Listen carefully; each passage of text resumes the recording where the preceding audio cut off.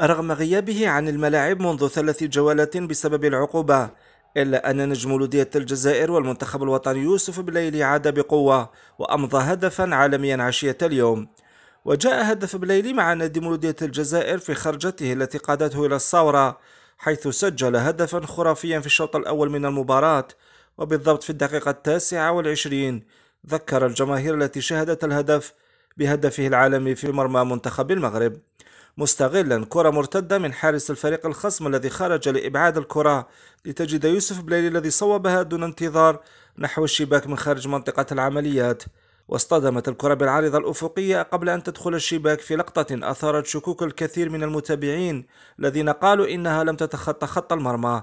لكن بإعادة اللقطة تتبين أن كرة بليلي تخطت حقا خط المرمى وبذلك الهدف صحيح وشرعي. واحتفل بليلي بطريقة جنونية بعد تسجيله الهدف. وكأنه يمرر رسائل كثيرة لكل من انتقده أو للطاقم الفني للمنتخب الجزائري ليقول لبيتكوفيتش رغم أنك لم تستدعني لمباراتي بوليفيا وجنوب إفريقيا إلا أنني هنا ولم أنتهي بعد وقادر على تقديم الإضافة للخضر.